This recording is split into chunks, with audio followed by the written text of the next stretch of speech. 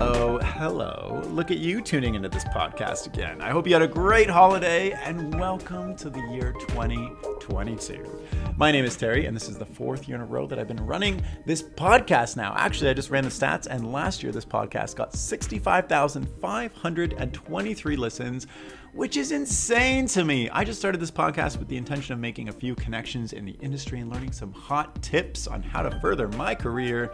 And I'm just both surprised and so proud of how much it's grown since then. I hope you get so much value out of these episodes and it really helps you in your animation journey as well. So thank you for tuning in, and I am so glad you are here. This chat is with a super friend of mine. His name is Bill Allinson, and he is also an amazing stop motion animator. In our chat, he's going to share how he survived as an independent animator in Toronto, what he's learned about self promotion to get new gigs, and his plans to create an original web series, build an audience for it, and then sell it. But first, this episode is sponsored by Hue, makers of colorful, affordable USB cameras and animation software for creative teaching, work, and play.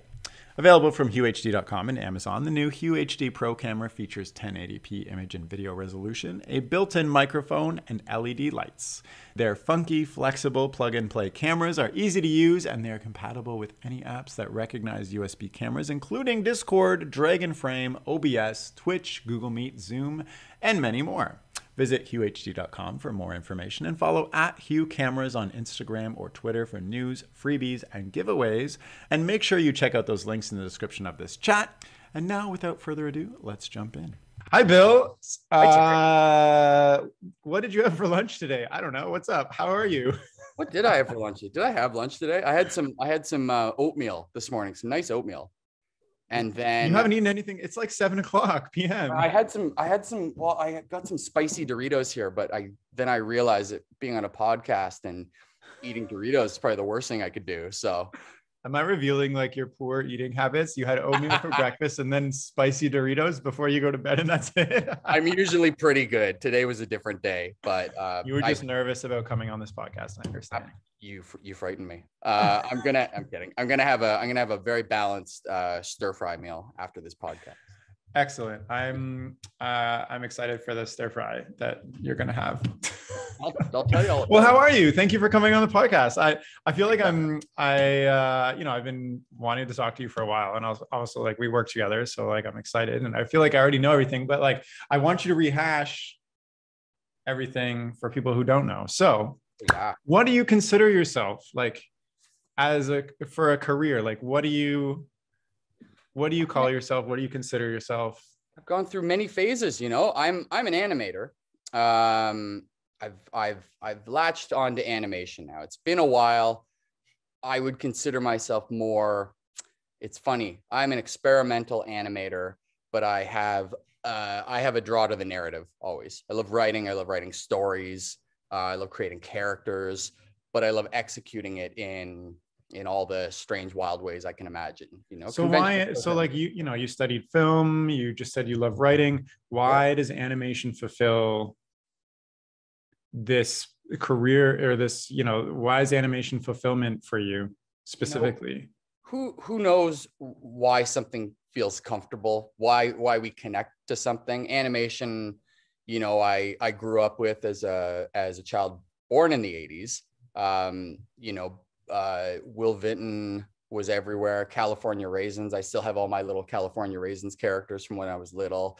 Stop motion and claymation was always just, it was kind of what was on TV. Um, ABC Saturday morning cartoons was like, was it. You know, I learned how to program my VCR by myself when I was, I think, six. So I could get up early and tape all my um, my animated programs. And they had little bumpers in between all the shows. I was like, after these messages, we'll be right back. And it would be little claymation character. Do you remember those? Yeah, of course. And even that yeah, tune, yeah. like I was singing it along in my mind with you. yeah, absolutely. Yeah. So I don't know. Um, that just stuck and it just made sense. And filmmaking always made sense and everything. The, all those things made sense. And um, there was never um, so much a plan B as well. If I don't make it in the arts, then, you know, back to the back to the farm I go. Which so you so no shame in so, that. So you grew up on a farm.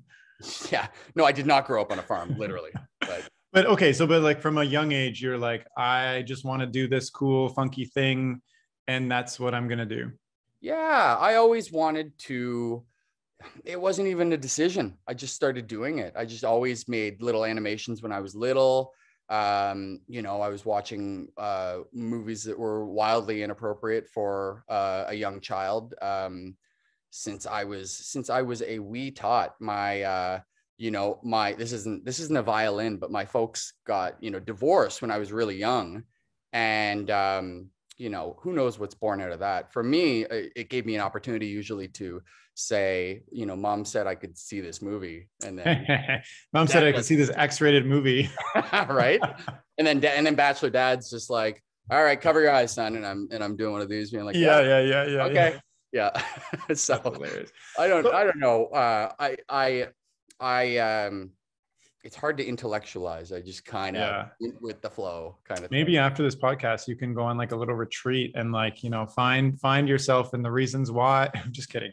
No. So but okay, so like at some point you had to say I want to live on my own, I need income um and animation is my thing. I start need to I need to start making money. Like tell me about that turning point for you and how cuz a, a big point that I think is really interesting is you called yourself an experimental animator. And I've never chatted in all of my chats, I've never chatted with somebody who considers themselves an experimental animator. You know, you're you're a stop motion animator, you're a 2D animator, you're a storyboard artist. But like I think it's super interesting that you said that.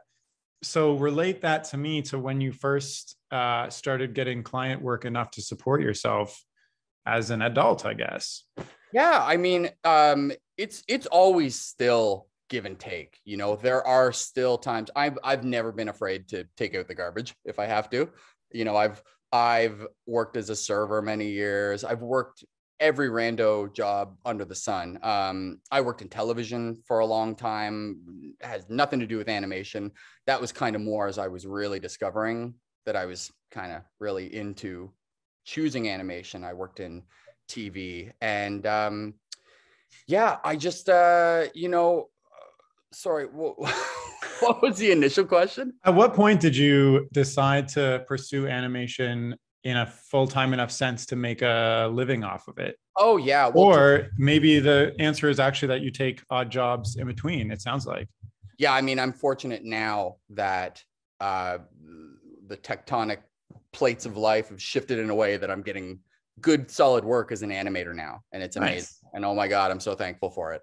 Um, you know, uh, I just always decided that I was just going to keep doing it regardless. Um, and uh, you know, in terms of funding, in terms of that kind of stuff, I I wouldn't have one film to my name if I sat and waited for funding all the time because oftentimes a lot of the projects that I was trying to execute um, didn't fall under you know the right category or or I just didn't know how to articulate a weird idea in the pitch, you know. Yeah. Um, you know, I just kind of was the driving force was that I'm just going to get the movie made. And you got to do whatever you got to do to get that movie made sometimes. So you just said the tectonic plates have shifted recently. Um, is this like a state you've been trying to get, you've been working towards where you can work full time in animation? Absolutely, for sure. Yeah. yeah. yeah. I decided, I think it's when I, I don't, it, you know, I think sometimes it can be as simple as you just have to really decide what exactly you want. And for me, I decided I had to really focus and I said, okay, well, what do you what do you want? And I said to myself, I want to I want to get paid to animate.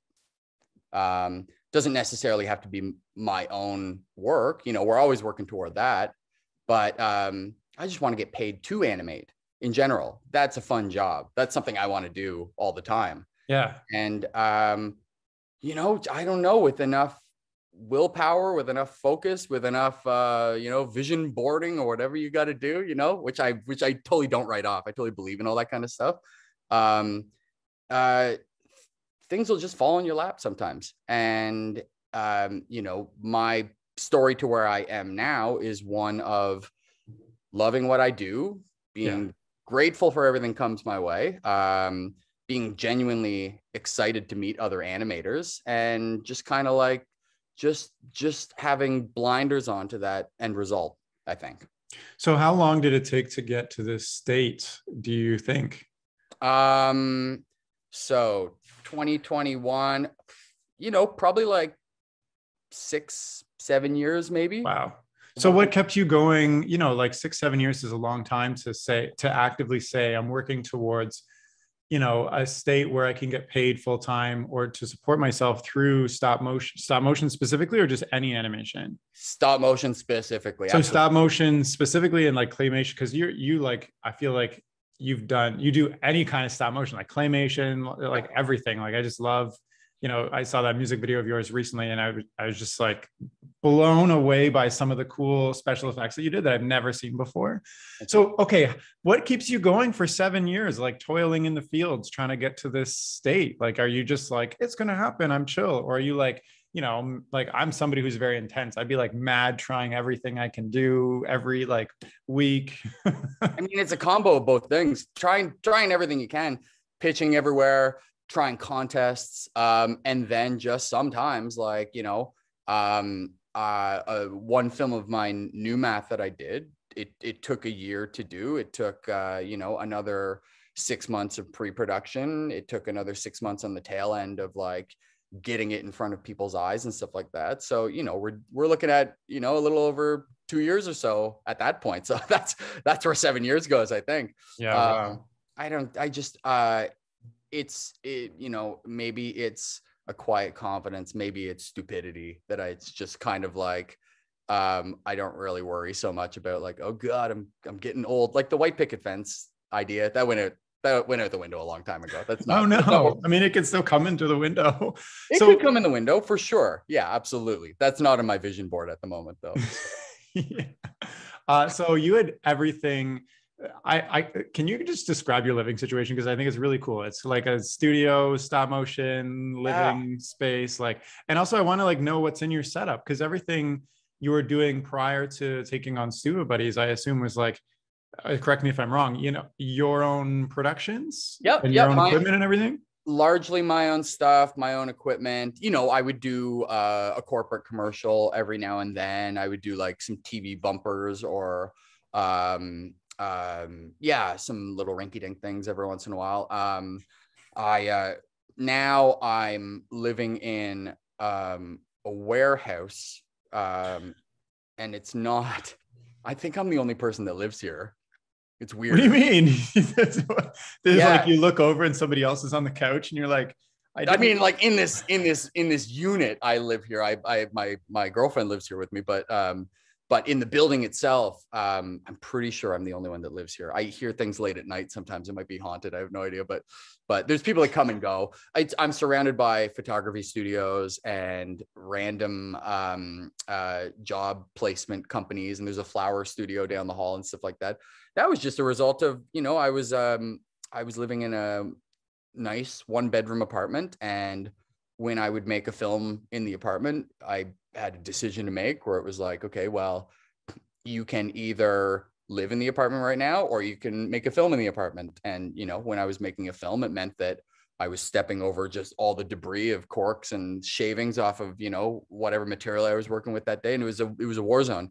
And it just got to the point where I was like, okay, I gotta, I gotta figure something out. And studio space was becoming increasingly, um, you know, expensive in Toronto, where I'm I'm in Etobicoke right now, but in in in the GTA.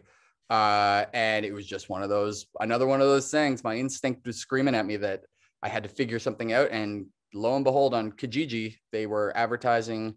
Who was it advertised? It was advertised as awesome, awesome artist workspace. And I was like, like, "That's cool. me." I was, like, "I'm an awesome artist. Let's do this." And I came in and I looked at the unit, and it was great. And I saw that it's the only unit in here that has a kitchen and a and a bathroom. So I was like, oh, okay, cool. I think this was the lunchroom of whatever this building used to be. Cause this place was like, I, I think they let me move in too early too. Like it was, it was, uh, there were holes in the ceiling and stuff like that. Like it was, it was pretty gnarly when I first how, moved. How big is this warehouse space you're living in now? Like, is it huge? Square footage is hard to say. It's not huge. It's, it's, it's spacious for a couple people. Um, but it's not humongous. A square footage escapes me all the time, so I have no real concept of. Sure, like an average, probably like Toronto one bedroom is like I don't know, they're kind of small, probably like six, seven hundred square feet. okay, so then this is probably it's kind of like one big room with like a dog leg to it. So it's probably like, I don't know, 14. Oh wow. Okay. That's I, I twice as big. Nice. I'm That's, ballparking it. can I need to find a place like that for my own stop motion stuff? Because as you're saying, I'm like, yeah, every time I get a project, my bedroom turns into a studio, and then it's like, where do I do anything else? Where do I sleep? Exactly. No, I know, I know. And at that time in my life too, like I I could get away with that kind of stuff. I could like just literally live in a war zone. Like the walls could be on fire, and I'd be like, oh well, like yeah, That's fine. Whatever. open on fire when I come home. Yeah. So t- okay, so you told me you know you were getting some spots and commercials. Like, how are you picking these things up? Because like you don't have a website right now. Like, I know that you're on like some sites like uh, like you know listed as a director, filmmaker stuff. Are they coming from that? Do you have an agent? Are you just constantly bidding on whatever you see? Like, I'm I'm bidding. Um, I'm I'm pretty diligent on keeping my reel updated. And on the only reason I don't have a website, I've had a website that's come and gone a couple times, and I just I I questioned if at the time it was worth the money, only because even though websites are cheap right now, maybe it's me just like upkeeping them. Um, as new work would come in, you know, I would I would always just put it on my reel and then I would put it on Instagram or I'd put it on Vimeo or and I found that I was getting a lot of traction from that. Mainly Gotcha. Instagram. I a lot of people have viewed work on Instagram via um just strategizing with maybe where you submit your work and getting lucky in a couple of the right spots and getting more views and what do you mean? Where do you submit where you submit your work? Like on Okay. Instagram? so I did this movie, um, New Math, a couple years ago, and uh, pretty experimental, pretty weird. Yeah, it's amazing. Yeah, thank you. Um, there was this. Uh, there, it still is. It's a fairly popular page called Love Watts, and I submitted to him just because he's a curator of crazy art from all over, and and he wrote me back and he liked the work and said, send me a one minute clip of your film and I'll and I'll put it online on my page Hmm. and and it got a lot of views. This I think the guy has like two million something followers, and um and it was weird. It was like it was my little tiny micro glimmer into what it's like to like you know not be a celebrity by any means, but have a lot of eyeballs on your work all of a sudden. And it was crazy. I would every time i'd refresh there would be you know 1500 new views on the thing and it was really cool it was uh, it was exciting and a lot of people reached out to me from that and Oh wow. messages and stuff like that yeah and then um yeah and i got a lot of cool work from that um when i every time i update my linkedin i find that So okay, so you specifically said, "Hey, I I just spent like two years on this project. I'm gonna like market the heck out of it." And so part of that strategy was finding curators of content on social media and just Yeah. reach and just sending them an email and saying like, "Hey, would you like to repost my content?" absolutely that yeah And Yeah. and like how many people ended up doing this? Just this one guy or like uh, a whole bunch of people or like I think like two or three out of probably like like 60 people that I wrote 60 to. people. Oh my goodness. I thought you were going to say like five, two or three out of five. No, swinging for So the fence. do you, do you just have a list of like people to go through every time you, Yeah, I mean, uh, on the next project I I do, um, uh, it'll probably be a new list of people that I research over, you know, a month or so, just kind of seeing what's out there and is, is Instagram the only place you do this? Or do you try to do this like with internet magazines or like Reddit or like Twitter or like just everything? Reddit for sure, internet magazines absolutely. Um, yeah, and then just you know reaching out to different studios all the time, and uh, yeah, just trying you- to. sorry, I, I'm just curious. What do you mean reaching out to studios? Like what, what do you mean? Like, hey, Oh, I'm an independent claymation stop motion guy. If you ever have work in that realm, contact me. Here's my demo. Yeah, or hey, do you want to buy this movie and show it somewhere? Oh, really? What? Yeah, sometimes you know. What do you Has- mean buy this movie and show it somewhere? So you make a movie. Yeah, I sold a movie in Japan. Okay, tell me tell me about this. This is Yeah, I, I don't remember the name of the place. It's been so long since. you go to Japan? No, no, I didn't go to Japan. It was uh Kids Network bought this other movie I did called Dad Fight. Um and uh and the the the only thing I regret is not asking them if I could have the copy of the movie back after they I think they went in and redubbed the voices of the characters and stuff like that. Oh no. I would I would have loved no, not that's not bad. I want to hear the Japanese Yeah, it would probably be amazing. voices. But but like I want to okay, so hello Japan. Hey Japan. No, um Like how did what do you mean? You just sold a movie? Like Yeah. tell me. I'm Yeah. interested. I want to sell my movies. yeah, my my producer at the time, um, how did he get in touch with them? I I would have to ask him. He he cast a pretty wide net, and I think he was looking at studios all over the world. And there was this one studio in Japan. Um, damn, I didn't know I was going to talk about this. Otherwise, I would have. It's fine. It's fine. It's fine. had the But- studio on hand. Yeah. Yeah. How did you even get a producer in the first place? Like, I don't have a producer. Like, I like making content. Is that like something I should look into myself? Like, Well, so here's the thing. So I went to film school, um, and maybe this is maybe this is the the bigger message of things. Is the old? It's not. It's not necessarily fake it till you make it. Well, and that is a, a brilliant concept that works. Um, you know, when I say producer, that's a great title. Producer. It sounds very official, doesn't it?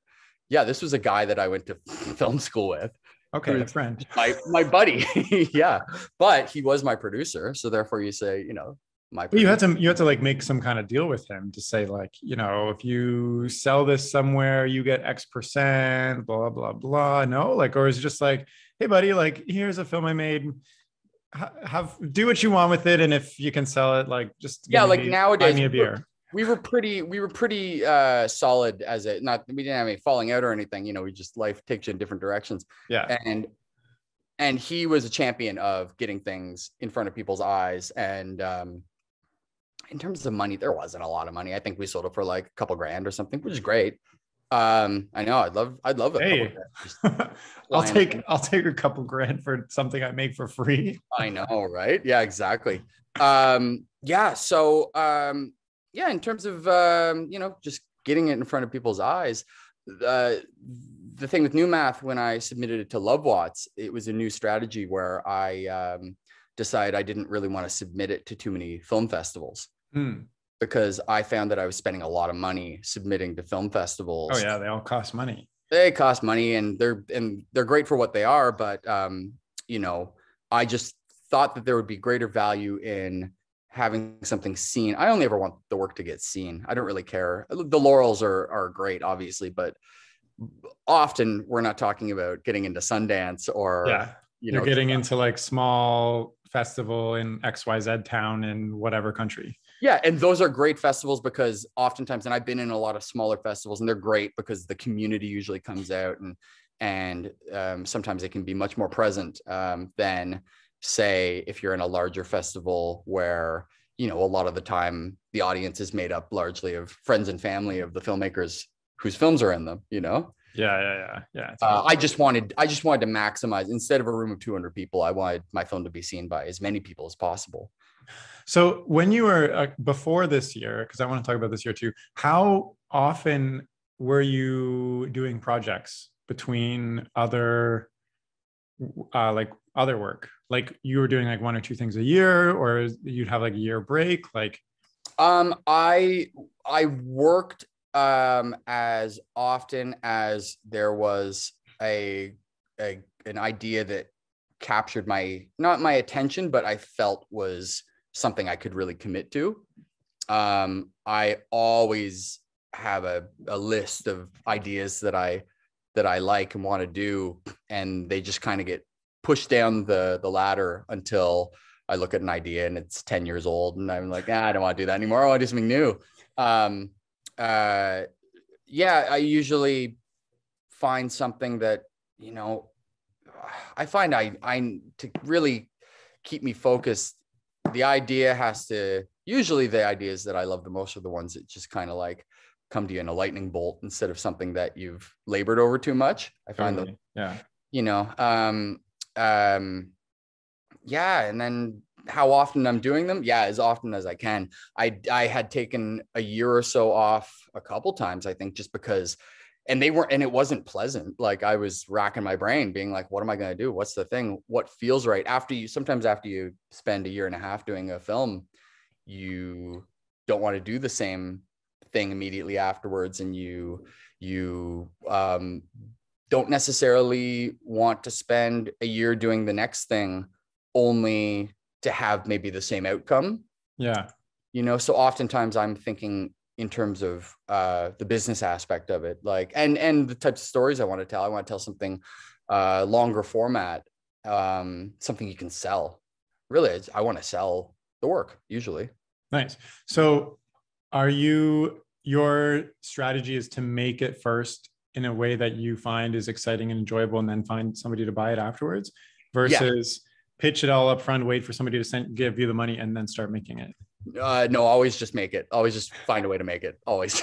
Yeah why not? The, the outcome if the outcome is just to make it then just start with making it i guess. Exactly. Yeah exactly. So so what changed with you in 2020 i mean i know but like what changed with you in 2021 where you could pursue stop motion specifically a little bit more full time yeah well it actually happened in 2020 hmm. uh, where i got i got the i got an email from my my friend evan DeRushie who we all know very well and uh, he, for those that don't know him he's a uh, he's a pillar in the animation community, specifically the stop motion community in Toronto. He's a patron saint. He's like helped so many people. The patron saint of Toronto stop motion. Absolutely. I, I, can't say enough good things about Evan and Phil Eddolls too. Um, you know, a friend and colleague of his and and ours, uh, two super awesome guys that um, have their company stop motion department. I know you've had other people on the show talking about those guys and about yeah. their company and everything. They're just really awesome, and they they really have championed uh, the art of stop motion in Toronto. And um, I um, became a member of the Toronto Animated Image Society years and years and years ago, uh, otherwise known as TAIS. And I met Evan there um, just kind of when I first joined up, um, just kind of wide eyed, having no idea what it was and what was going on. It was a screening and um, there was a little barbecue before, and I was just kind of being a keener and going and talking to everyone, just seeing what's up. And yeah, I met Evan. He was a, a great guy, and then uh, um, just kind of stayed in touch with him over the years. If I had a question about a pitch I was doing, because I I still do do pitches and grants and stuff like that. Um, uh, and I would go and I would visit. He would be doing a film. I'd go and visit his set and kind of take a look at things and see how he's doing things. And um, yeah, we always stayed in touch. And then last, uh, well, in uh, whenever it was, probably September of 2020, I think, he contacted me and very nonchalantly asked if I was like free and what I was doing. And obviously, like we're still in the pandemic, but that was like really, that was really thick pandemic times. Yeah. And um, he asked me if I was available to work on a Stoopid Buddy project, which was insane because I had applied to Stoopid Buddy years and years and years ago, um, having kind of a, a much lesser reel and just kind of like you know, no, not a not a penny to my name to move to California or anything like that. Right. Just uh, to see if they'd hire you, you know, you're like roll the dice, right? I mean, if they hired me, then I'm sure my my parents or someone or you would have you know, figured it out, yeah. Yeah, I'd go rob a bank or something and and and get there somehow. Get out of the country quick. right? Yeah, exactly. Um, but yeah, there was a show, Ultra City Smiths, that um, they were to be filming. Uh, the the timeline of when they were going to be filming shifted a bit because I think it was a new studio they were building, and I think that there was a lot of uh, you know the kind of front end of getting a studio set up. Other than my little setup here, I can't imagine. And now, and especially after working there, like the scale of that place is insane. Oh, yeah. So understandably so it took a little while to get in the doors and actually start working on the thing but yeah that was i i very luckily and serendipitously got hired on like the best stop motion production i think has ever been in toronto probably Totally. I feel like, well, you know, I was there too, but I feel like it was just a blessing for like anybody interested in stop motion in like Canada, period.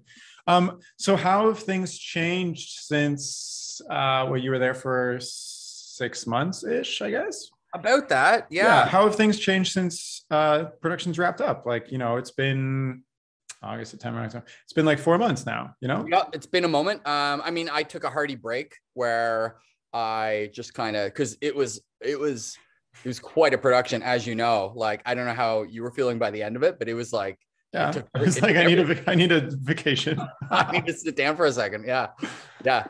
Um, and yeah, I just kind of regrouped and obviously like the fires were stoked and they weren't going anywhere after that. So it was Yeah. really time to say, okay, cool. Like as much fun as it is to work for someone else and especially like um such a great company like that.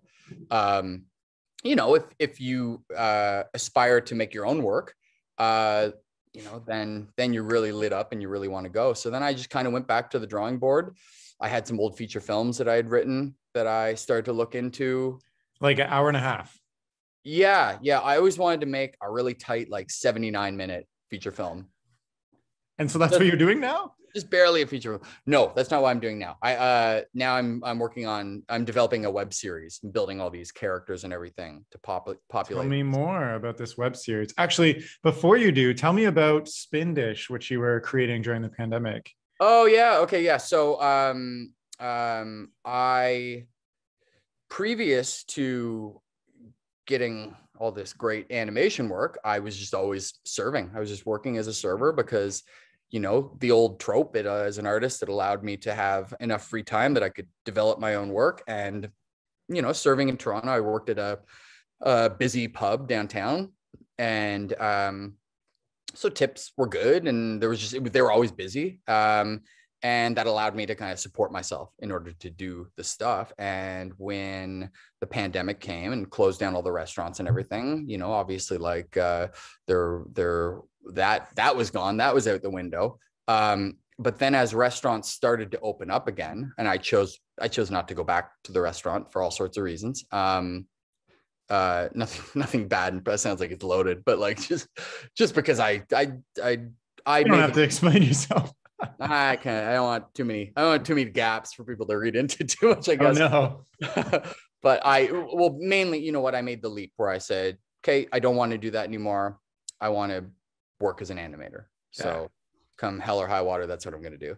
And um, as restaurants started to open back up again, um, I thought I had the idea that I could uh, find a niche and which was doing advertising for medium to small businesses that may not necessarily have the budget to hire a higher end company to do um, you know animated advertising for them Yeah. and stop motion is really you know my my main bread and butter in terms of what i know how to do so i tried to combine the two. So literally was going to people's restaurants and animating like their nacho chips like flying around the plate and stuff like that and then you know putting it up on instagram and it was working. It started it started to take off. Wait, okay. So like you show up with a camera, some duct tape, laptop a a camera laptop, a little tackle box with some putty and clay and stuff like that and, you're uh, like, whip whip me up a dish yep I- and Yep. uh, give me an hour yeah i usually and usually I'll do day. something interesting in stop motion. yeah i would i would approach all these places before of course i didn't just kick in their door and say like all right Hi. all right this is going on now Bring me the chef. yeah i would consult with them and we'd talk about kind of what their what their signature dishes were and i the, yeah and the company was called spin dish so you know i was like bring your dishes to life kind of thing Yeah. So Yeah. how many did you end up doing? i did like five or six Wow. Yeah, and and that's because it took a while to develop it. It took a while for me to find the right price point that wouldn't scare people away because but it would also kind of be worth doing. Um, yeah. Because you it can't would- be like 25 bucks because that's like your Uber there. exactly. Yeah, exactly. Exactly. Um and and also too like restaurants were were just coming back so yeah, people yeah, yeah. so I had to find something a balance. So is this something that you think are you going to pick up again, or is it more of like a pet project? I think Because was it sounds it sounds really interesting to me to try to tap into the small to mid-sized yeah. Business period who doesn't have a huge budget but wants to have interesting advertising. And Yeah. since you are somebody who you know you have all the skills you have all the you know you know all the different softwares and your you know your overhead isn't crazy. You just bring in a camera and a couple uh, like your toolbox. You don't have to bring in all this professional equipment. You can keep prices small. Yeah. it's i feel like the business model is just about uh, trying to reach as many restaurants as possible at that Absolutely. and just going and executing yeah I mean, it has it has. I mean, if you don't pick this up, this is what I'm doing the rest of the year now. yeah, right. I mean, we'll both show up at the same restaurant and be like, "Oh, yeah, dueling nacho spin. Let's do it." yeah. Um, it has merit. Like I, I, I like it. Um, my shifting brain is on the web series right now, kind of. You know. Uh, totally, totally. Because I found because that was the thing. Like I always want to. Um, I'm just always want to tell my little stories, I guess, and it's it would be hard to do both unless I grew it and then was able right. to kind of oversee it and contract out animators to go and yeah. do it. You know? Like you, like you'll be like, "Hey Terry, I got ten restaurants on the list for you today. Yeah, here you go. See you later. Give me twelve percent." exactly right. In a perfect world, maybe one day. So tell me about this web series. Like you know, you're producing it out of your warehouse slash yeah. home. Yeah. Slash kitchen and bathroom with holes in the ceiling. I hope those holes are patched. They fixed it. They fixed it. Yeah, that we had to write a very uh, strongly worded email slash text slash call in the spring because it was raining a lot and it started. It was like raining. Yeah. What the heck? Hi. Yeah, I'd like to ha- not have a hole in my roof for when it rains. Like what the heck, guys? I mean, you know me, Terry. I drilled. I, you remember I drilled through my. Yeah. My- you also, for those listening who don't know, Bill just comes to the where did you come to like the park hangout or whatever with had a little lunch yeah a lunch with uh his finger, he had drilled completely through the fat part of his, what do you call this? The fat part of your finger? Whatever that is. Whatever, right under the bone. There was a hole all the way through. And he's just like, hey guys, I just did this. You know, I I don't even need to put a band-aid on. I'm just gonna air it out. Like, I'd be like, uh, get me to the hospital.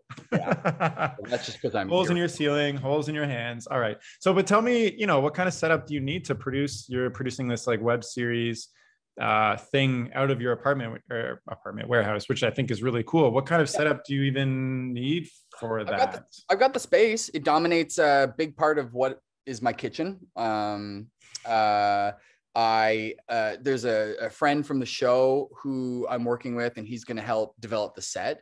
Oh. I have a I have kind of a um, um, a practice set that I built um, kind of during lockdown. Uh, that I thought was going to be the set. And then I worked on Ultra City, and the production value on that show was just so insane that I couldn't look at that. I oh, didn't. Oh, no. You go home and you're like, no. you're like, sorry, I've cheated on you since, and I require something better now. Pretty much, yeah, yeah. I didn't want really well homemade to be the standard anymore, you know. So and I, I went back and I Oh, I brought I brought one of the puppets over here. Oh, show me. Oh my gosh. Oh my goodness, what the heck? This alligator. He's not painted yet or anything. What is he made out of? Uh, so he, so kind of the head, uh, always starts with cork. I always started doing things with cork. Wait, cork, cork as in like the cork wood. Uh, yeah, like cork out, literally out of a bottle. Well, a wine bottle. You just took a wine bottle and made that? Yeah, well, that's the foundation. Then I run wire through it. What? Uh, then I, uh, with some help with some friends, discovered um, a really nice slow drying epoxy. Hmm. Like a putty epoxy, you mix the two parts, and then kind of over the course of three hours, it becomes. Oh, really oh wow! Hard. You don't have to bake it. Yeah. Oh yeah. I, I know yeah. about what you're talking about now. Yeah. yeah, uh, Axiom, I think it's called. Great material, life changing material. Um, and then um, liquid latex buildup.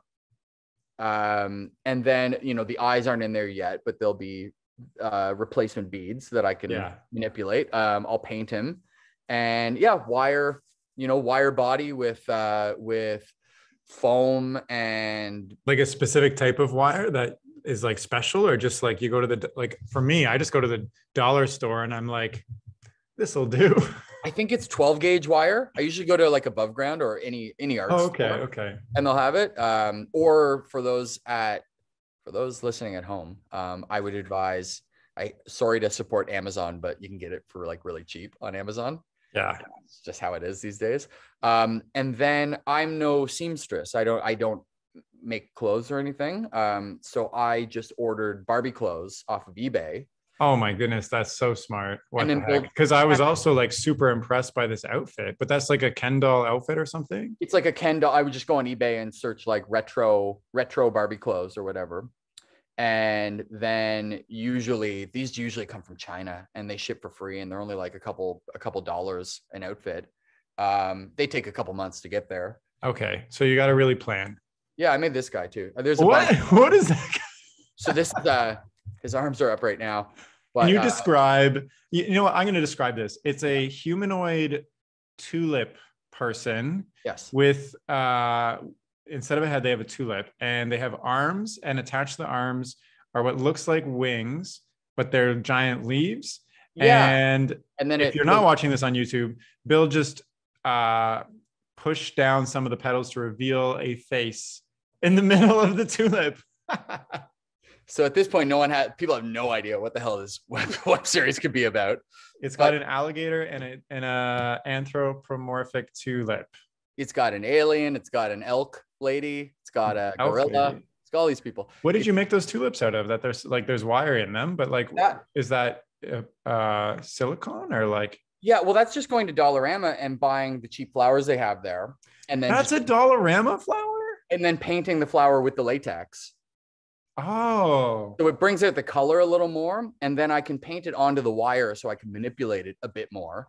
Um, oh interesting painting latex yeah, there's so much i need to learn still. What the heck? Wow. I feel like i mean my style is just i go to dollarama and just like whatever's here i'm using because i'm not spending any more money than whatever i can find here. Latex that sounds toxic to me. I'm not going to touch that stuff I'll let Yeah. someone else do that I mean, and I'm the guy that drills holes in his finger, so yeah you're like toxic thing isn't as much of a concern. maybe i shouldn't take my stop motion and material Yeah, advice from not. you we're funny though, not to divert too too much from the web series thing, but um, we're funny because we're we're opposites in a sense that you like working really small. Oh yeah, I'm like the tinier that like my smallest puppet that I ever made was uh like I don't even know something to reference, like smaller than the tip of my pinky finger, like literally like this big. And So I cute. animated him jumping around and like I like he's full face, arms, legs. I even made a little costume for him. I love it. It's love it. crazy. Yeah. and I for a time was into I had this crazy idea in my head that I was going to do everything full scale just because I hadn't seen it before. And I thought that if it's full scale, then I can then I don't have to make furniture or anything. I can just film it walking around in my apartment and stuff. Uh, Yeah. Which, which I like the idea of that still. There's an idea that I I will do at some point, and I called it uh, Mr. Timestamp and I was uh, I pitched it to Nuit Blanche, but it, it wasn't accepted. Um, and the idea was to kind of build a full scale person, and from dusk to dawn have them sitting on like a park bench, and you know it's like a it's like a business person or something, and you know they're so they're opening their briefcase and they're taking out their phone and making a call or something like that, and they're checking their watch or eating a sandwich or you know anything they could do, and then actual people could come and kind of sit on the bench for a second. So the illusion film it in a very uh, you know high traffic area so it's like the world's moving really fast around this kind of guy type of thing. And you're animating him. i'm animating him. Okay, Nuit Blanche is stupid now because that's the best idea I've ever heard Eh. from going to Nuit Blanche for years. Because that Yeah. would be amazing. And then you could watch it later on and be like, whoa, there's me in one frame. And then here's the time lapse of it would have uh, been wow. fun to do for sure but as i've learned in trying to go through the city to get permits is you can you can get a permit for just about anywhere it's just like if you can you can just do it on your own so you could just do yeah, you could there's nothing stopping you, but Yeah. shame on shame on Nuit Blanche. Hey it wasn't meant to be Also, I love your idea of just animating a giant puppet, and I'm pretty. There was a project with um, I can't remember this. This artist did it with like giant robot. They didn't look like humans, but they were like as, as large as people. He animated them in like this futuristic setting. But cool. uh, I don't think I've seen anybody animate a humans a human sized human before Yeah. stop motion, which sounds really. It almost sounds easy. You if if you like maybe not easy. If you can create the rig to hold up with all the weight, yeah yeah it might actually be easier to animate because it's just so large. it's all in the build for sure it's always all in the build um Can you imagine the tie downs of making this thing walk? Oh my god, what a nightmare, right? Like I uh I I did build a full scale person. Wait, what? You built a full scale person rig? Yeah, he wasn't good. He wasn't great. Like you know, you've never seen him for a reason. I built this full guy, and then I would just put him uh, on my roof and like scare my neighbors and stuff like that with him. But he oh, was wow. Okay. he was he was gonna be this guy, and I built his uh his spine was like a giant like floor desk lamp that I found. ah, so it was really kind of reinforced. But then when you got into the arms and everything, uh, Yeah. you know, I was using some couch cushion and stuff to kind of try and make it light, but it's you gotta. I It's so heavy. Yeah. You, I feel like you need to, you, you're probably investing like thousands of dollars in just Yeah. creating a rig. it would have taken a lot more trial and error for sure to make it a thing. Interesting. But now you have my wheels, my wheels turning, my gears turning, my, my gears turning. Cause I, cause like this just instantly, this sounds like such a cool idea that it should just happen. I feel like, and like, you know, like for you of all people, like I feel like you could make it happen. You know, you're this independent, experimental, quote unquote, dude who like does super cool. Like even in in your music video, you know, you have the the hands come in and like separate through all the All the all the the grass and everything. the yeah. grass, and that's life size. And I was like, whoa. And then you go to like super small other stuff. So Yeah. yeah. So okay. Speaking of the web series, like you know, um, s- so your strategy is to just make it, and then it exists, and then you're going to try to sell it somewhere, or put it Yeah. somewhere. I mean, I think the idea is to um, build an audience, and uh, and by that I mean I the motivation to do this web series was born out of spending maybe a year putting together and building all the elements of a short film, uh, completing it, and then just kind of like either recycling all the parts into the next film, yada yada yada, and and that was great. But after doing that two or three or four or five or six or seven times, I was like, I kind of want to just build something to last Yeah. and kind of have more of an open-ended concept where I can just let this thing evolve and see what it'll become and put it on TikTok, put it on Instagram. Um, you know, and I'm I always question like how long certain things are going to stay in fashion. Like Instagram kind of seems like you know, see what's happening with Facebook, like um the metaverse is taking over. And that's going well, they got to do something because I'm I never go to Facebook. Like I feel no, like no, most people I know don't. They, Yeah. they, uh, you know, and it's, and I don't even know that it's because all of our aunts are on Facebook, you know, sharing memes and stuff. I think just things go in and out of fashion. totally, totally. I feel like Instagram had its day already, and now you know, like TikTok is the thing, and like Yeah. So And- you what is maybe maybe let me reiterate, I guess. You're trying to create something uh lasting that you can then uh, adjust to whatever format is the most popular at the time. So like you create the sets and puppets and then you're like I'm going to make 20 TikTok videos or a YouTube episode or like Yeah. whatever and just make it, you know, jump in and do a little story in this world. Yeah, and the idea behind it is it's uh, so it's called um, Lounge Sessions at the Canary Room. Okay. The Canary Room is the name of the place, and this place is a it's it's a bar lounge that's kind of like a fusion of like West Coast California chill with like you know Latin American kind of flair and festivity and uh, and then just the dankness of like a potentially kind of you know divey sort of bar, and populate it with just anything and everything. So I'm building, you know, there's an alligator, there's a flower. The idea came to me. I was just laughing, thinking about a flamingo, like having a drink with like uh with some guy, and but having like a very earnest conversation. And um, As flamingos do. as flamingos do, right? Yeah. and so do a lot of it live or real audio. Go and get snippets of conversations, and it can be political. It can be about you know the news of the day. It can be about anything, and then have wraparound stories that are that are written. So like a creature comforts Aardman fusion with right actually written scripts. That is a great. So are you thinking of going to get a snippet from the wild and then write something around it? Yeah. So okay, let me ask you this because you decided that you wanted things to look a little bit more professional, so you hired somebody to help create sets. Yep. Uh, does that span over into all production? Like, are you going to hire writers? Are you going to hire voice actors? Like, is this like a very professional Uh, thing? I think it'll. I think it will. Um, it'll grow accordingly. Like, um, I think I'd like to let it just kind of be organic and see kind of where it goes. Because Yeah. the nuts and bolts of it, the base of it is it has to look good. And um, in terms of the writing, like I'm I'm confident in my ability to write some some short snippets of of interesting stuff, whatever pops into my head. The real audio will support a lot of it. Um, there's a stage where I'll I will probably start courting, you know, local bands and things like that. Cute. Animate their performances, you know. Like, they- that sounds like everybody would want that. Who wouldn't? I thought so. You know, get stand local stand-up comedians to do a set.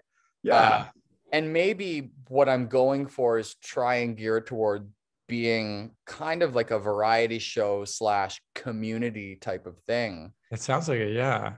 I don't It's- know. It's it's something I want to experiment with and see what I can do. Totally. I mean, I can see you, you know, starting something and just it organically turning into something else. And maybe it becomes like this Toronto, you know, piece of kind of in the moment slash history for what wild. it is. And it's like, Yeah. oh, there's that band that's now like really famous, animated in the Canary Room back in the day, or like, right? Like that. That would be really cool. So cool. what kind of okay, so um business terms, I guess, what kind of investment are you looking at up front? Like you have like c- cameras, uh like lighting, like is everything being produced just in your warehouse? Uh, Just I- Yeah, yeah. Um, my my let's say if it was a five year plan, it would be that I would move out of here. I wouldn't live here, and then would somehow be able to retain this place yeah. and do the show out of here. Maybe then, maybe then do some spin dish stuff out of here or fish for some commercial stuff. I guess I'm talking about kind of low key building a small independent animation company. I guess. I love this. Um, just random question. Since your warehouse living space is just one bi- big room, Yeah. how are you animating with the lighting? Or do you have like blackout curtains surrounded your surrounding your thing? Or are you just like, hey, uh, girlfriend and me are just gonna live in the dark for the next eight hours as I do this? Yeah, that's usually how it goes. And I usually, oh my uh. I usually bide my time so that I I do it when I'm alone here. yeah. I'll, you know, crunch out an animation in five hours if I can. So it sounds like to me like you have like, you know, you have this kind of like wealth of experience of doing different types of animation projects. So like you have the music videos, you have your spin dish, like you have this web series. So it like, you know, I think it'd be really cool if you just were like had a, you know, an independent animation studio that just has all these different branches of cool stuff going on. Obviously you know like that is a lot harder to accomplish because you have to think about like overhead and like hiring people and like all this stuff. Do you have um i guess like a business plan to try to make that happen? Yeah, I'm dev- like I'm developing kind of the nuts and bolts of it. I I'm always running before I take my first step, yeah. kind of thing. You it sounds like it. Because okay another uh, i don't know how to say this in a not nice way but i don't mean anything say like- it to like well okay so like canary room i love the idea. It sounds really cool but it also sounds like uh, you know it's an idea that may uh, what happens if it's not a, a success you know? Yeah, I mean, I I mean, how do you measure success, right? Like, well that's I- what are you saying success is like it, to me it sounds like success is for you is just just making something I, I think success uh, the the type of success i'm i'm looking for is uh, engagement i guess you know Okay. and and repeat engagement Hmm. so that to me even if even if 10 people keep tuning into it that tells me that i'm doing something right because i love that. 10 people that and i love my friends and they're so supportive and they're so great but uh, you know like You're like, my friends friends. aside friends Yeah. and family aside Yeah, yeah 10 random people- internet strangers i feel the same way. I'm like Yeah. i didn't make a success if if like my family and friends say it's cool. I'm like whatever you guys don't matter. But if a random internet stranger emails me and is like cool then i'm like i've made it. Exactly. exactly right? Like so, so, does yeah. that does that mean that you are going to uh, evolve what the canary room is based on what gets engagement because i guess then it goes away from the stories you want to tell and the stories people want to hear i guess you know like if you discover Yeah. that certain types of jokes do well then you might start only telling those certain you know like you evolve over time and yeah i uh no i wouldn't i wouldn't um i wouldn't cater it to like if i that sounds like bad like sitcom notes from a terrible producer you know where they're like the baby that they like they like the baby do more of the baby add a And baby like, then it's like the VH1. then every sitcom has a baby, and then when they have a baby, you're like, "This is done."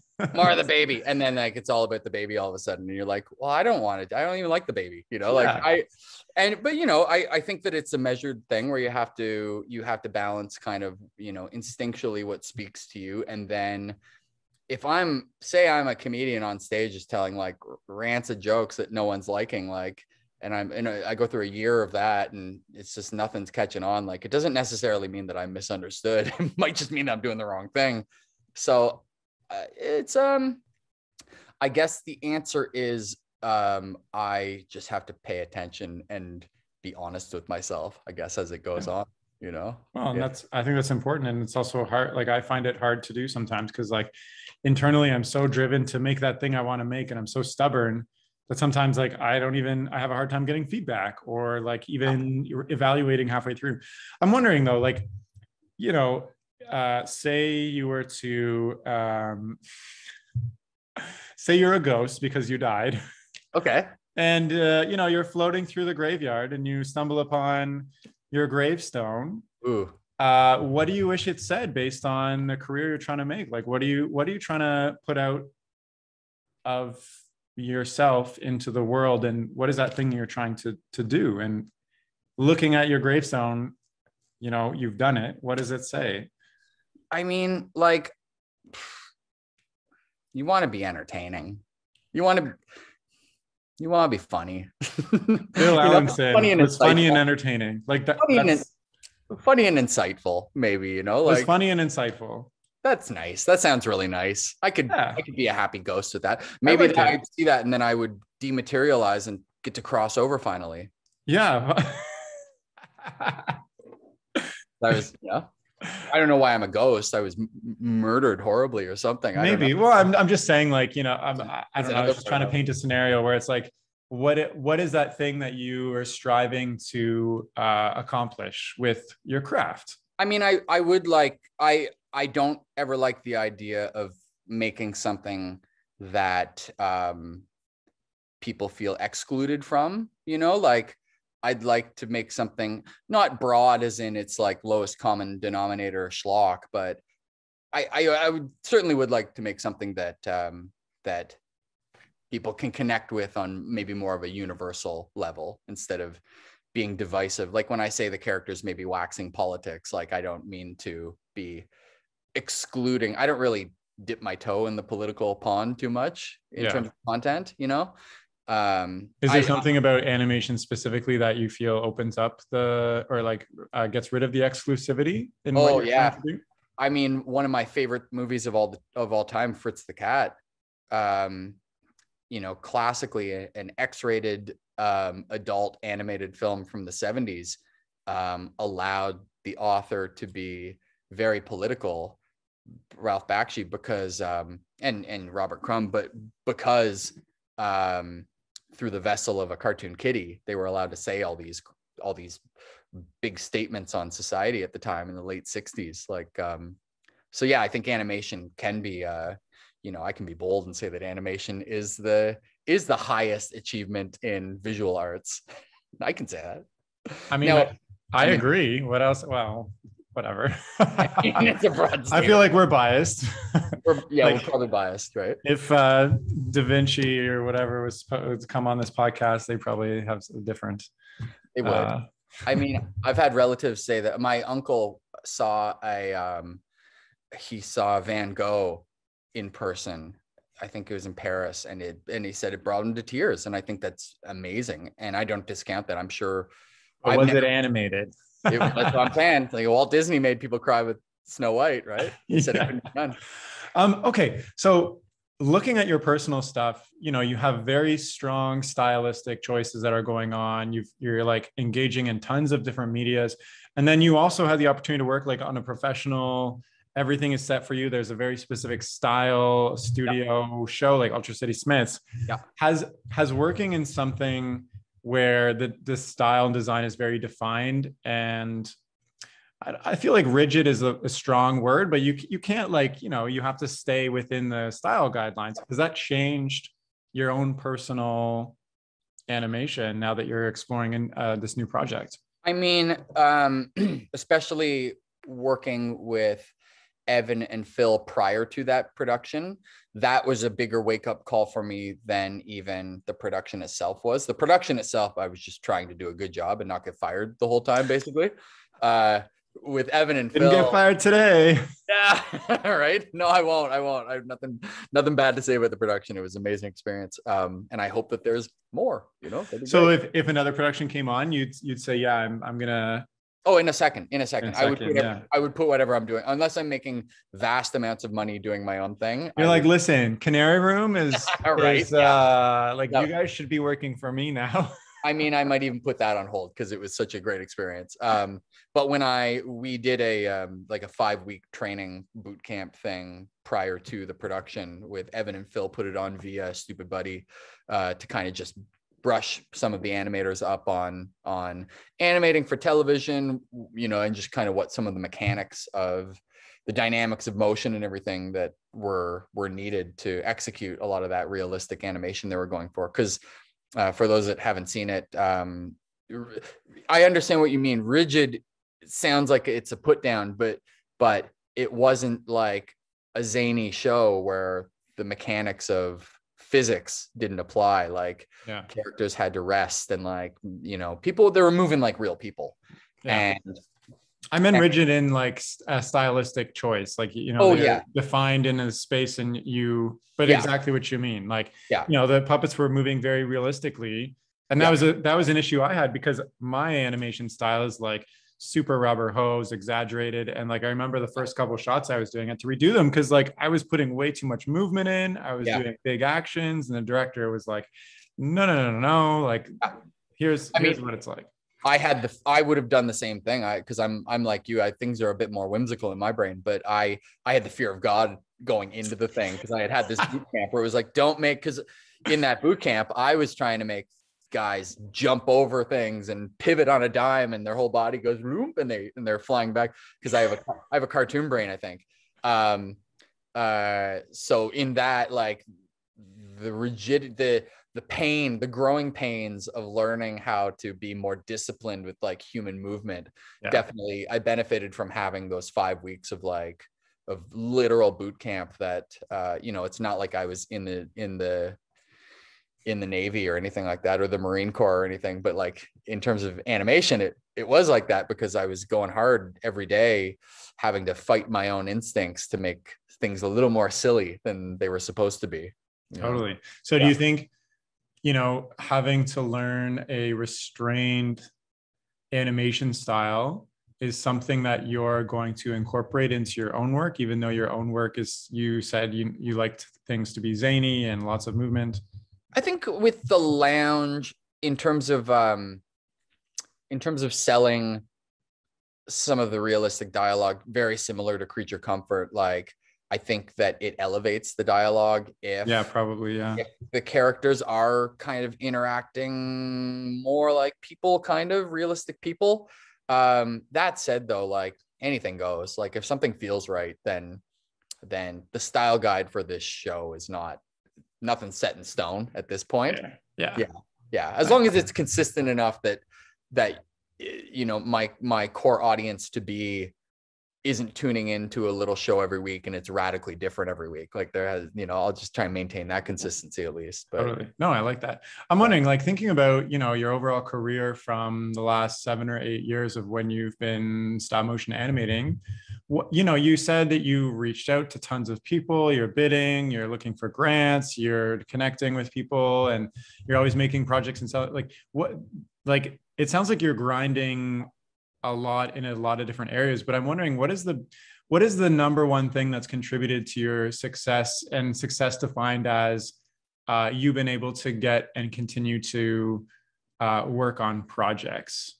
Like one example would be like you know you have a refined style that people enjoy and look at and they're like i want that. Or another one could just be like um, you know you find the right budget the right place and the right time etc like what is what is maybe a skill you've developed or something here i'm just like blabbering i'm asking you a million no, you're helping me. You're you're you're helping me for sure. Yeah, Um, but like, wh- what would you consider has made you successful throughout this last decade in this in this career path? I think just consistency. Like maybe um maybe uh you know gratitude's obviously a thing but that's aside from just uh, work ethic like i i can pride myself on i i i am good at self-imposed deadlines um, wow that's good yeah i'm good at that that's one of the things that is i can i set goals and i eh, i'm i'm pretty hard on myself so if i don't think i'm working enough like that's the word like for me my zen is knowing that I've worked enough. Nice. Uh, wow. Yeah. If and I and I have a a, a terrible fear of of failure that is nipping at my heels all the time. That what what would be failure to you? Um, having having not uh uh applied myself.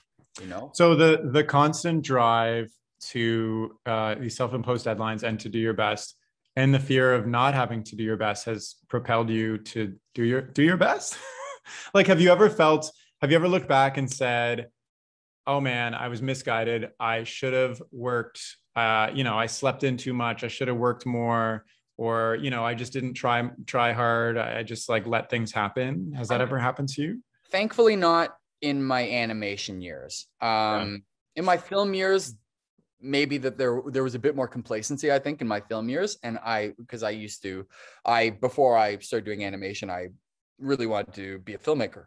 And i really wanted to make feature films. And it's not to say i don't still but but um i think that maybe i was sitting on my hands a little bit more when i wasn't doing animation. There's something about animation for me i think it's probably just the joy of the practice. Like you know yeah i'm hard on myself and yeah i like i, I push myself all the time. But um it's it's the right kind of hard on myself. It's not like i'm showing up to a job that i that i hate you know like when we were doing ultra city i had to pinch myself every morning. I couldn't believe that i was doing this show. I couldn't believe that uh i felt so spoiled because like oh my god like so many people did so much work on that show to allow me to get to that moment where i got to animate the scene like the totally set, yeah that's on it was i felt like that too because like you know working on your own productions where you're like you're doing the design the storyboarding the animatic you're yeah. making stuff you're like every and it takes months to just get to the point of animating and then animating is like it almost feels too fast and yeah. then to just jump on a production where there's a hundred people who have done all that stuff for you and you just walk in and be like i'm gonna move these puppets now not worry about anything. It's it's like a treat. Right? it's very strange. Oh my god. And like you know i um you know we all we all kept breaking the puppets all the time and yeah. Didn't have to worry about that either. It's a puppet oh hospital god. you know how it is. And then so and then you become but then you become like uh you become conditioned and you break a puppet that normally would put your show out of production for like, you know, your short film or whatever. Out of production is like, cool. I guess like we're down for a while until I fix this puppet you break you break your puppet on the show and then you're tapping your watch being like where are these people? It's been yeah come on it's been 20 minutes like where's megan? Dear poor megan working her ass off because we're all breaking the puppets and everyone's standing around being like oh my I know, god. I know i know. I had to buy eric a bunch of coffees because i just felt so bad. Right? she's like you're not the worst one but also like you know they they talk about terry on the walkie talkies like oh he's broken another like right? or whatever. Megan dropped a hand and the fingers broke off and Allie. I'll give a I'll give a shout out to Allie. yeah. Fixing all the um, mistakes. Take me back. Okay, so obviously, you know, you have tons of experience. You you like you know what you're doing. You've got the full setup. How did you? What did you start with? Like, you know, you're a film student, and you're like, stop motion sounds cool. Yep. Tell me what you originally, how you started, because I, I think that's very important for people who you know if somebody's listening and they want to get into stop motion or even just try it out from different animation like where do you start? Because with 2D, you need software, you need blah, blah, blah, drawing skills.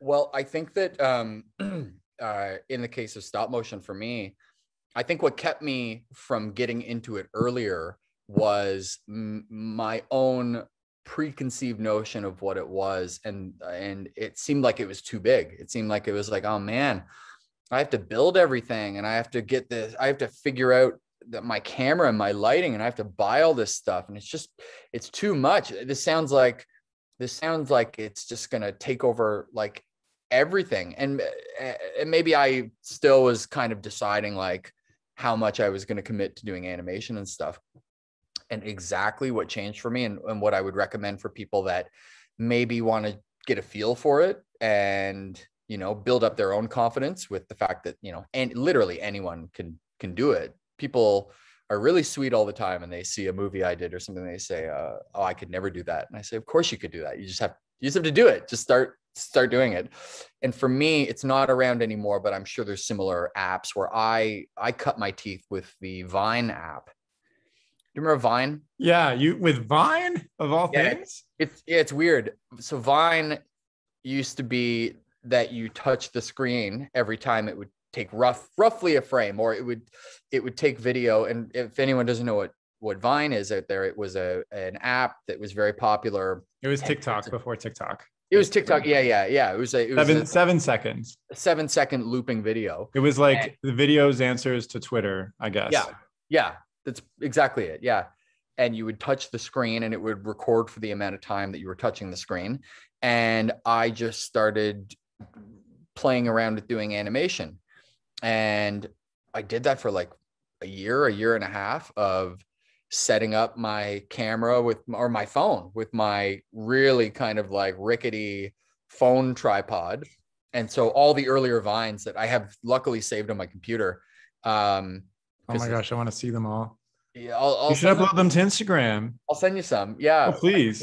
One's on my Vimeo. I did a series called Plate Faces where I was just doing different faces on plates, doing different things. And I was, and you tap, you tap the screen and it takes a video and, and to record sound, I had to do the, the audio frame by frame too. So I'm in my apartment sounding like crazy person going like, uh, e, uh, oh, like phonetically learning how to make noises and things like that. too. Wait, so you were taking a frame of audio to say a phrase? So if you wanted to say like animation, you'd be like, mm, eh, mm, like, and yeah. it would sound like that? I made this one where there was a plate and he was uh he was like an Italian guy and he he was made of spaghetti and he sucked his own face up into his mouth and I think he said like Mamma Mia. And he goes Mamma Mia and I had to go like Ma and I'm doing it in a character voice too. So I'd be like Ma so, so people can hear me. I there was a business underneath me and I'm upstairs going like Ma ah. And does it sound okay? Yeah, he says Mamma Mia. It worked. I can't believe it. It's I have to I have to listen to this right afterwards because this sounds crazy to me. Stop send mo- it to you. like stop motion music or like voice acting. Yeah, yeah, yeah. I'm a pioneer in the field. Oh my goodness, that's that's crazy. Yeah. Uh, Bill, we've talked about you know your career, where things started, uh, you know what you've worked on over the years, how things have changed for you recently. What's next? You know, is there anything that you wanted to that we missed that you think is important to chat about as we're kind of wrapping up? Oh yeah. Um golly. Um I don't know, you know, you, you you get me going and I can just I can be long-winded and just go on forever. Uh I can't believe it's been hey, that's a good sign. It's been it's been over an hour, hasn't it? Yes. No idea. Welcome to the Animation Industry Podcast. Yeah, yeah. Well, you know, um, yeah, you know, I'm just uh, thankful that you invited me on. Uh Oh, of course. got to give some shout outs to some nice people and talked about some stuff. Uh, I don't know, like uh, my advice to people would be to just just start doing it however you possibly can. And I um, I you you do this too. I would advise that people um, if you can, if you have the resources or the space, try and build your own puppets too, because you um, Oh You my gosh, a- yes. you form a relationship with those puppets and it's just a little more special when you're working with them Well, and Uh, it's it also just helps you evolve in your animation and understanding what needs to be moved, how to move things, how to build things to move them, like yeah yeah everything. The puppets I was making when I was like in high school were just like, I think this looks cool. Yeah. And then I go to animate it and it's awful and it doesn't work. And now like I just have this uh you know this built-in intuition of what's what I need to like anyways a whole other topic.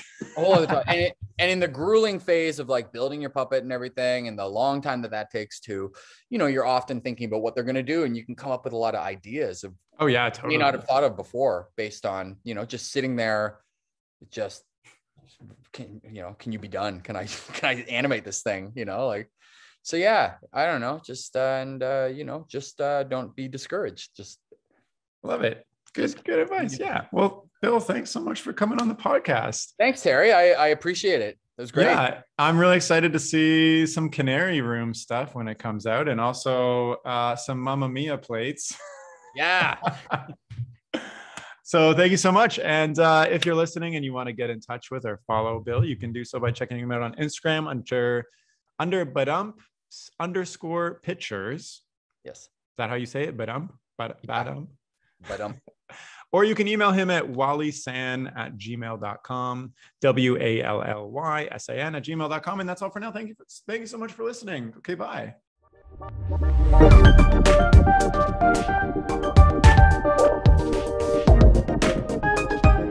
The music for this podcast was composed by Will Farmer and the graphics by Daniel Abensauer.